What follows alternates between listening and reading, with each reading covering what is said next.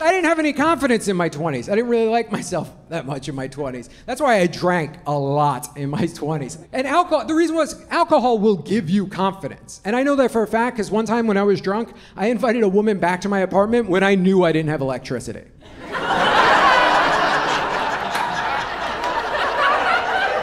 yeah, she came too. Or she didn't come, but she like showed up and then left.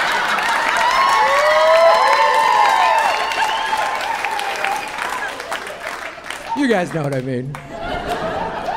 That's not even the most embarrassing thing I ever did in my 20s. This is totally true. One time while I was having sex with a woman, I said to her, I can't believe you're letting me do this right now.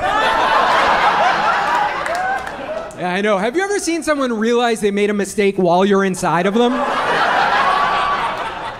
I know. I don't, I don't know what the opposite of getting wet is, but I definitely did that for her, so that was kind of cool. I got to feel like a magician. I was like, where once there was a river, now there's a desert. I actually said to Da at the end. It was pretty fucked up.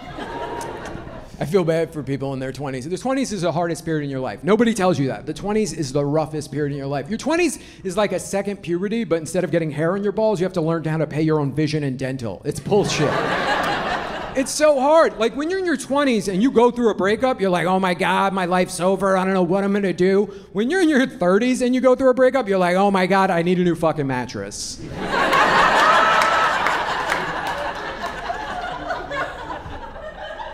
like when I was in my 20s and I like I was so poor and broke living in New York City starting out in stand-up comedy, my room was so small, I couldn't have a regular size bed in there. I had to have a bunk bed.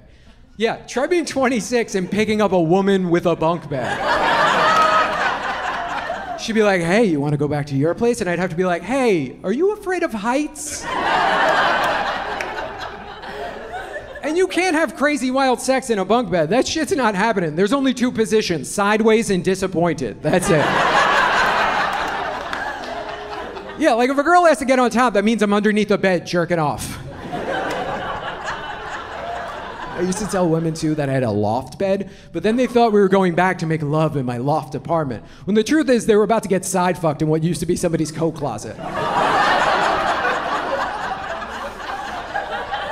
Also, 20 year old dudes in here, I want to give you a piece of advice. Because I had a hard time with women in my 20s, and I want to tell you this because I want a woman to fuck you more than once, right?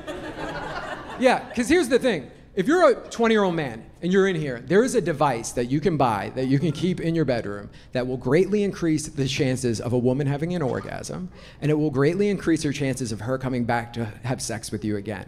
And it's a very simple device. You can get it anywhere, and it's called a bed frame.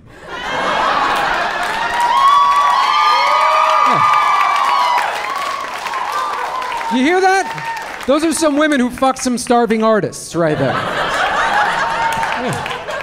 Get yourself, get your fucking mattress off the floor. No woman wants to be fucking a dude whose mattress is on the floor. Look, and I'm not even saying that shit needs to be like West Elm. Get fucking four cinder blocks and a piece of plywood. Yeah. Yeah. They'll be like, he has goals, he has aspirations, he has hopes. No woman wants to be banging a dude and be reminded how close she is to her bottom. Both physically, emotionally, and mentally. the song The